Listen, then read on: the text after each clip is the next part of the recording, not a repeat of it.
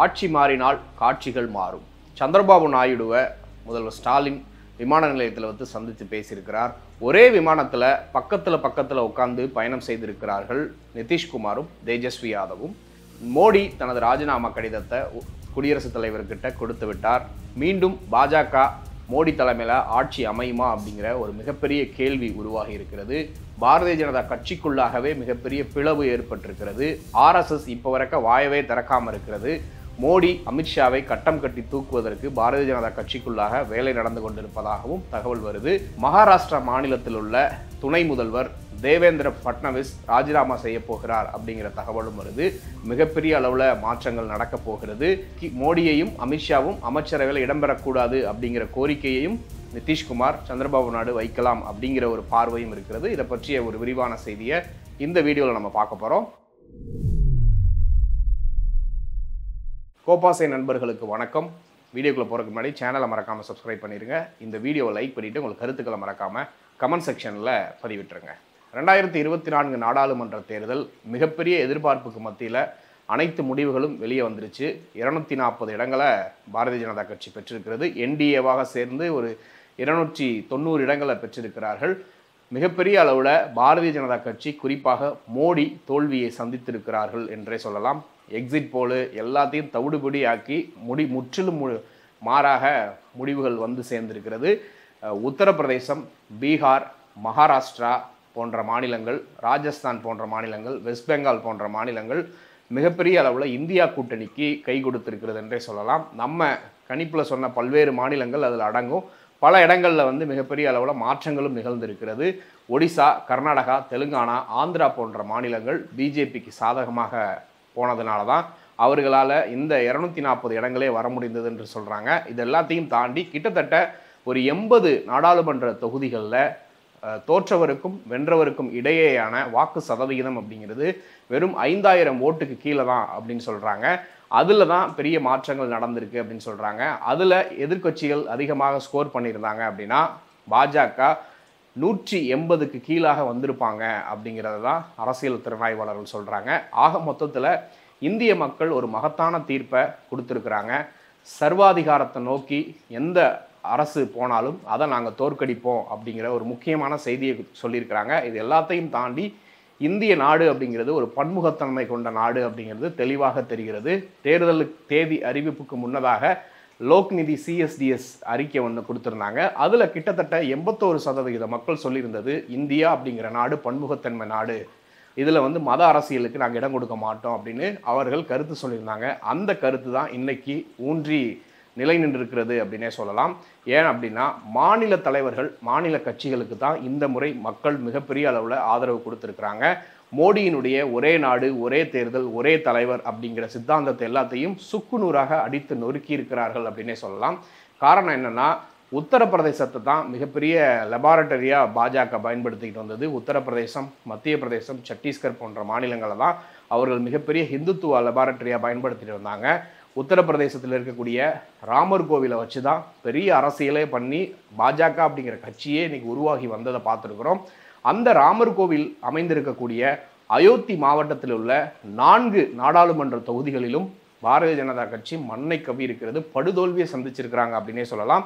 குறிப்பாக ஃபைசாபாத் அப்படின்ற இடத்துல தான் அயோத்தி ராமர் கோவில் இருக்குது அந்த தொகுதி எம்பி சமாஜ்வாடி பார்ட்டியில் இருக்கிறவர் வெற்றி பெற்றிருக்கிறாரு. குறிப்பிட்டு சொல்லணும்னா தலித் சமுதாயத்தை சார்ந்த நபர் அவர்.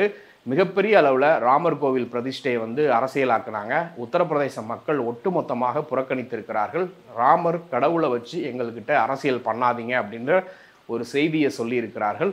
அதை தாண்டி ராமர் கோவில் அப்படின்ற அளவுக்கு பெரிய அளவுக்கு கொண்டாடினீங்களே தலித் சமுதாய மக்களுக்கும் எஸ்சி எஸ்டி மக்களுக்கும் அதில் பிரதிநிதித்துவம் கொடுத்தீங்களா? அந்த ஃபங்க்ஷனில் கொடுத்தீங்களா அப்படிங்கிற கேள்விக்கு விடை கிடச்சிருக்கு அப்படின்னே சொல்லலாம்.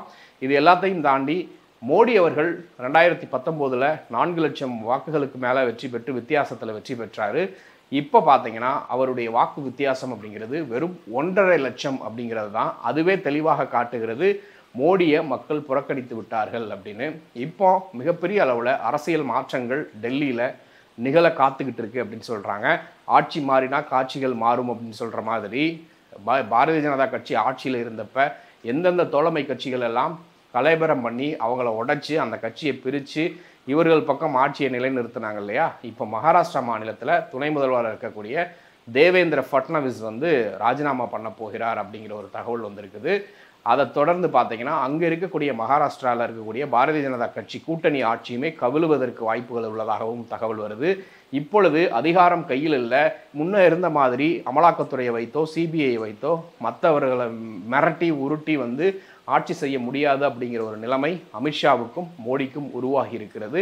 இந்த நிலையினால் பல மாநிலங்களில் பல வேட்பாளர்கள் பல தலைவர்கள் அவர்களுடைய கட்சியிலிருந்து விலகி பாரதிய ஜனதா கட்சியில் இணைந்தாங்க இல்லையா? அவங்கெல்லாம் திரும்பவும் பழைய கட்சிக்கே போவாங்க அப்படிங்கிற ஒரு வாய்ப்புகளும் இருக்குது இது வந்து மூ மூன்றாவது முறையாக ஒருவேளை மோடி அவர்கள் பிரதமராக வரக்கூடிய வாய்ப்பு இருந்தால் அதுவே ரொம்ப நாளைக்கு நீடிக்காது அப்படின்னு சொல்கிறாங்க இன்னொரு பக்கம் இவ்வளவு பெரிய தோல்வி அடைந்தும் ஆர்எஸ்எஸ் தரப்பிலிருந்து ஒரு செய்தி கூட வெளியே வரலை அப்படிங்கிறத பார்க்குறோம். அதுவே ஒரு தெ தெளிவான விஷயத்தை காட்டுது. மிகப்பெரிய ஒரு உட்கட்சி பூசல் போய்கிட்டு இருக்கு. பாரதிய ஜனதா கட்சிக்குள்ளேயே நிதின் கட்கரி தலைமையில் ஒரு குழுவும் தேவேந்திர ஃபட்னவிஸ் தலைமையில் ஒரு குழுவும் அந்த பக்கம் சிவராஜ் சிங் சௌஹான் தலைமையில் ஒரு குழுவும் யோகி ஆதித்யநாத் தலைமையில் ஒரு குழுவும் ராஜஸ்தானில் இருக்கக்கூடிய வசுந்தரை ராஜே அவர்களுடைய தலைமையில் ஒரு குழுவும் பெரிய அளவுக்கு புகச்சல்ல இருக்குது மோடி அமித்ஷாவை அமைச்சரவையில் பங்கேற்கக்கூடாது அவர்களை புறம் தள்ளணும். எப்படி அத்வானி போன்ற தலைவர்களுக்கு வயது வரம்பை காட்டி அவர்களை ஓரங்கட்டினார்களோ அதே மாதிரி மோடியையும் ஓரங்கட்டணும் அப்படிங்கிற ஒரு குரல் வலுத்திருப்பதாகவும் செய்திகள் வருது. இது எல்லாத்தையும் தாண்டி சந்திரபாபு நாயுடு அவர்கள் சமீப காலமாக மோடிக்கு எதிராகவும் சர்வாதிகாரத்துக்கு எதிராகவும் தொடர்ந்து பேசிக்கிட்டு வந்தார். இந்தியாவில் பார்த்தீங்கன்னா ஒரு கோஆப்ரேட்டிவ் ஃபெடரலிசம் இருக்கணும் அப்படிங்கிறதுக்கு முக்கியமாக குரல் கொடுத்துட்டு வந்தார். அதே நிலைப்பாட்டை தான் நிதிஷ்குமார் அவர்களும் பேசிக்கிட்டு வந்தாங்க. பாஜகவோட கூட்டணி வச்சோம் அப்படின்னா கூட்டணி கட்சிகளே வந்து அவங்க கலைபரம் பண்ணி கட்சியை காலி பண்ணிடுவாங்க அப்படிங்கிறத தொடர்ந்து பேசிக்கிட்டு வந்தார். தேர்தலுக்கு சில நாட்களுக்கு முன்னாடி தான் என்டிஏல போய் ரெண்டு தலைவர்களுமே சேர்றாங்க. ஆனால் இன்னைக்கு என்ன அரசியல் வட்டாரங்களில் பேசப்படுதுன்னா சந்திரபாபு நாயுடு அவர்களும் நிதிஷ்குமார் அவர்களும் முக்கியமான பதவிகளை கேட்பாங்க. அப்படி கேட்டு கொடுக்கலன்னா கூட்டணியிலிருந்து வெளியில் வருவதற்கும் வாய்ப்புகள் உள்ளது அப்படின்னு சொல்கிறாங்க இப்போ எக்ஸாம்பிள் சொல்லணும்னா சபாநாயகர் பதவியை சந்திரபாபு நாயுடு கேட்பார். ஏன்னா ஏற்கனவே தொண்ணூறுகளில் அந்த மாதிரியான சம்பவங்கள் வாஜ்பாய் பீரியடில் நடந்திருக்கு. சந்திரபாபு நாயுடு அப்போ ஒரு கிங் மேக்கராக இருந்திருக்கிறாரு அப்படின்னு சொல்கிறாங்க இல்லை அப்படின்னா டெபுட்டி பிரைம் மினிஸ்டரு இல்லைனா உள்துறை அமைச்சர் இல்லை ஃபினான்ஸ் மினிஸ்டர் போன்ற பதவிகளை நிதிஷ்குமார் கேட்கலாம். அவங்க இல்லை அவருக்கு கேட்கலாம் இல்லை அவங்க கட்சிக்கு கேட்கலாம் அப்படிங்கிற ஒரு தகவலும் வருது. அப்படி கேட்டு கொடுக்கல அப்படின்னா நாங்கள் ஆதரவு தரமாட்டோம் அப்படிங்கிற ஒரு நிலைமைக்கு நிர்பந்தம் செய்வதாகவும் தகவல் வந்துக்கிட்டு இருக்கு. இது எல்லாத்தையும் தாண்டி இந்த பக்கம் இந்தியா கூட்டணி வந்து டெபுட்டி பிரைம் மினிஸ்டர் ஏன் பிரைம் மினிஸ்டர் பதவி கூட கொடுக்க வாய்ப்பு இருக்குது ஆட்சி வந்து பாஜக ஆட்சி அமைக்கக்கூடாது அப்படிங்கிறதுல ரொம்ப உறுதியாக இருப்பதாகவும் தகவல் வருது. அதை தாண்டி ராகுல் காந்தி பிரதமராக வரணும் அப்படின்னு உத்தவ் தாக்கரே அவர்களும் குரல் கொடுத்திருக்கிறாரு அப்படின்னு சொல்கிறாங்க இதுக்கிடையில தான் டெல்லியில் சந்திரபாபு நாயுடு அவர்களை தமிழ்நாடு முதல்வர் முதல்வர் ஸ்டாலின் அவர்கள் சந்தித்து பேசியிருக்கிறார் அப்படிங்கிற ஒரு தகவலும் வருது. பீகார்லேருந்து டெல்லியில் ப பயணப்பட்டு வர்றப்ப ஒரே ஃப்ளைட்டில் தேஜஸ்வி யாதவும் நிதிஷ்குமார் அவர்களும் பயணிச்சிருக்கிறாங்க. முன்னாடி பின்னாடி சீட்டில் முதல்ல உட்காந்தாங்க அப்புறம் கொஞ்ச நேரம் கழித்து ரெண்டு பேரும் ஒரே இருக்கையில் உட்காந்து கொஞ்ச நேரம் பேசிக்கிட்டு வந்தாங்க அப்படிங்கிற ஒரு செய்தியும் வந்த வண்ணமாக இருக்குது அப்படிங்கிறத பார்க்குறோம் ஸோ இது எல்லாமே மிகப்பெரிய அளவில் ஒரு அரசியல் மாற்றத்திற்கான ஒரு சம்பவங்கள் நடக்கப் போகிறது அப்படின்னு சொல்கிறாங்க முன்னாடி பாரதிய ஜனதா கட்சி மோடி அவர்கள் முழு பெரும்பான்மையோடு இருந்தப்ப அவர்கள் நடந்து கொண்ட அந்த ஆணவமான விஷயங்கள் இதுக்கப்புறம் நடக்க வாய்ப்பே கிடையாது. மோடி அமித்ஷாவுக்கு அவர்கள் கட்சிக்குள்ளாகவே மிகப்பெரிய எதிர்ப்பு இருக்கும். அவர்களை அவ்வளவு தூரம் சுதந்திரமாக செயல்பட விட மாட்டாங்க அப்படிங்கிற ஒரு விஷயமும் இருக்குது இது எல்லாத்தையும் தாண்டி அதிகாரிகள் முன்னாடி பவர்ஃபுல்லாக இருந்ததுனால மோடி அவர்களுக்கு கட்டுப்பட்டு இருந்தாங்க. ஆனால் இப்போ அப்படி கிடையாது. பல்வேறு ஊழல்களும் முறைகேடுகளும் மோடி அரசாங்கத்துக்கு கீழே நடந்த காரியங்கள் எல்லாமே வெளியே வர தொடங்கும் அப்படின்னு சொல்கிறாங்க இதுதான் அடுத்தடுத்து வரக்கூடிய சம்பவங்களும் இருக்கும் அப்படின்னு சொல்கிறாங்க இன்னொரு தரப்பினர் பாஜக தரப்புல இருந்து பார்த்தீங்கன்னா எட்டாம் தேதி மோடி அவர்கள் மீண்டும் மூன்றாவது முறையாக பதவியேற்க பேச்சுவார்த்தை நடத்திக்கிட்டு இருக்கிறாங்க அப்படிங்கிற ஒரு தகவலும் வருது. இப்போ அஃபிஷியலாக அமைச்சரவையை கலைச்சிட்டு ராஜினாமா கடிதத்தை கொடுத்துட்டாரு. பிரசிடெண்ட்டும் ராஜினாமாவை ஏற்றுக்கொண்டு விட்டார் அப்படிங்கிற செய்தியும் வந்துருச்சு. ஆனால் இதன் பின்னணியில் பங்குச்சந்தையை சரிய விட்டுறக்கூடாது அப்படின்னு ஒரு குரூப் வந்து இந்த மாதிரியான தகவல்களை செய்திகளாக வெளியிடுறாங்க அப்படின்னு சொல்கிறாங்க ஏன்னா எக்ஸிட் போல்லையே நம்ம பார்த்துருக்குறோம். எந்தளவுக்கு பின்னாடியில் இருந்து பெரிய பெரிய நிறுவனங்கள் வந்து ஒரு போலியான எக்ஸிட் போலை வந்து வெளியிட்டாங்க அப்படிங்கிறத பார்த்துருக்குறோம். ஸோ இந்த விஷயத்தில் வந்து உண்மை கிடையாது.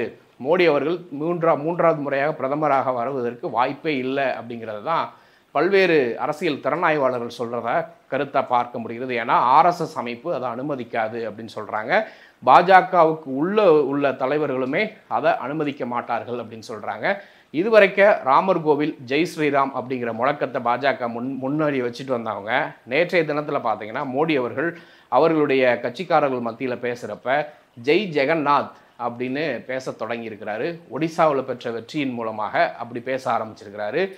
மகாராஷ்டிராவில் அடைந்த தோல்வியை குறித்தோ ராஜஸ்தானில் அடைந்த தோல்வியை குறித்தோ உத்தரப்பிரதேசத்தை குறித்தோ எந்த ஒரு வார்த்தையும் மோடி அவர்கள் பயன்படுத்தலை. இதிலிருந்து என்ன சொல்கிறாங்க அப்படின்னா பாஜக கோட்டைன்னு அறியக்கூடிய பல்வேறு இடங்களில் பாரதிய ஜனதா கட்சி மிகப்பெரிய சரிவை சந்திச்சிருக்கு அப்படின்னு சொல்கிறாங்க அமைதி தொகுதியில் ஸ்மிருதி இரானி படுதோல்வியை சந்திச்சிருக்கிறாங்க அப்படின்னு சொல்கிறாங்க கடந்த முறையை விட காங்கிரஸ் கட்சி ரொம்ப சூப்பர்வாக பெர்ஃபார்மன்ஸ் பண்ணியிருக்கிறாங்க அப்படிங்கிற ஒரு தகவலும் நம்ம நம்ம ஆல்ரெடி பார்த்த தகவல் தான்.